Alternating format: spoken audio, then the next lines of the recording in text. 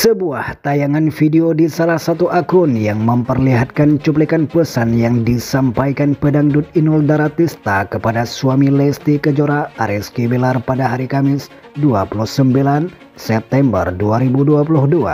Adapun cuplikan video yang menayangkan Inul Daratista memberi pesan kepada Bilar itu tampaknya ada hubungannya dengan kasus kekerasan dalam rumah tangga yang dialami oleh pedangdut Lesti Kejora saat ini.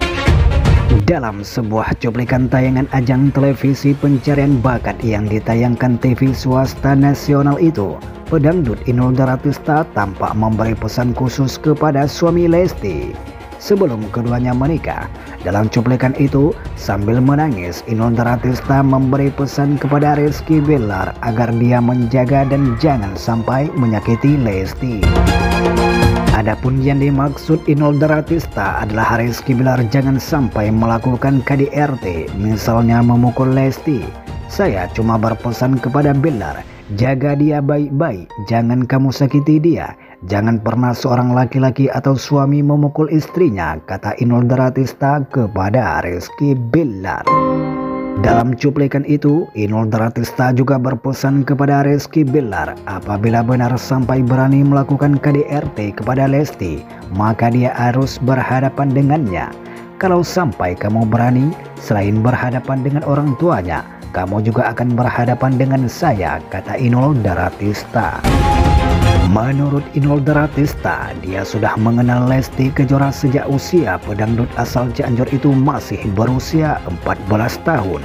Maka ia tak rela apabila Lesti Kejora sampai disakiti oleh Rizky Bilar.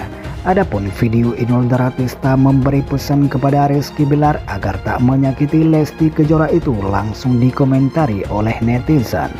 Adapun netizen ramai-ramai menyalahkan Rizky Bilar yang saat ini tersandung kasus KDRT dan dilaporkan sang istri ke polisi.